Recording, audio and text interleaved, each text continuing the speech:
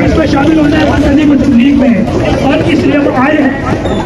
असलकम वबरक इसराइल और फ़लस्तीन के दरमियान बहुत बड़ी लड़ाई जारी है। तकरीबन एक हफ़्ता होने को है कि ये लड़ाई जारी है और इसमें बहुत सारे लोग शहीद हो चुके हैं। फ़लस्तीन की जानब बहुत सारे शहादतें मिली हैं, जबकि इसराइल की फ़ौजों को भी मारा गया है।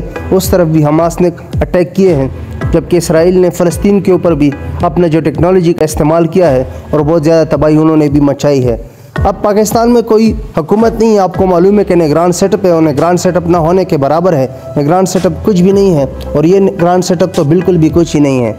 अब पाकिस्तान में पार्टियों का लिहाज से आप देखें तो पाकिस्तान तरीके इंसाफ बहुत बड़ी पार्टी है, मगर वो अब लीडर लेस है। इमरान खान जेल में है और बाकी रहनुमा को जेल में है और कुछ रुपोश हो चुके हैं।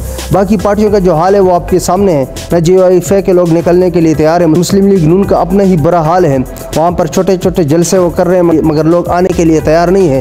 पीपल पार्टी मुकम्मल सिरे से गायब है। जब से हुकूमत से बिलावल साहब निकले हैं, जरदारी निकले हैं, कोई अता पता उनका नहीं है। जब पाकिस्तान तहरीक इंसाफ के लोग आज निकले तो अफसोस की बात यह है कि पुलिस ने उन्हें गिरफ़्तार किया। अब लोग ये सवाल उठा रहे हैं कि हुकूमत तो कहती थी कि हम चार मिनट में इसराइल की ऐसी की तैसी कर देंगे।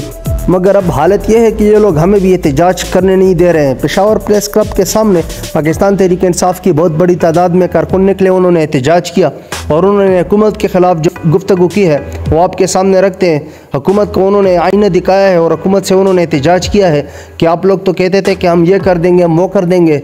अब आप इसराइल के ख़िलाफ़ हमें एहतजाज करने नहीं देते हैं। और आप यकीन करें कि पाकिस्तान तहरीक इंसाफ और फ़लस्तीन को एक ही तराजू के पलड़े में डाला गया है। यानी अगर आप इमरान खान के हक में एहतजाज के लिए निकलते तो भी आपको गिरफ़्तार किया जा रहा है। और अगर आप फ़लस्तीन के हक में एहतजाज के लिए निकल रहे हैं तो तब भी आपको गिरफ़्तार किया जा रहा है। आपके साथ इस शख्स की गुफ्तु शेयर करते हैं, जिन्होंने हुकूमत के ख़िलाफ़ जो गुफ्तु की है। वो सुनने के काबिल आप इस वीडियो को शेयर करें लाइक करें चैनल को सब्सक्राइब करना मत भूलें, आपसे इंशाल्लाह दोबारा मुलाकात होगी। अपना ख्याल रखें।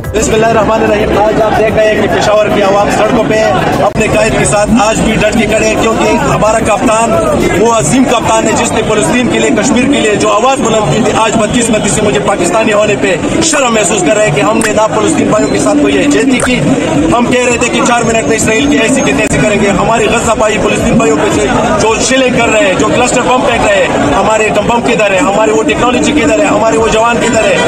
हम आवाम मुतालबा करते हैं कि हमें रास्ता दे और हम अपने भाइयों के लिए इंशाल्लाह जाएँगे।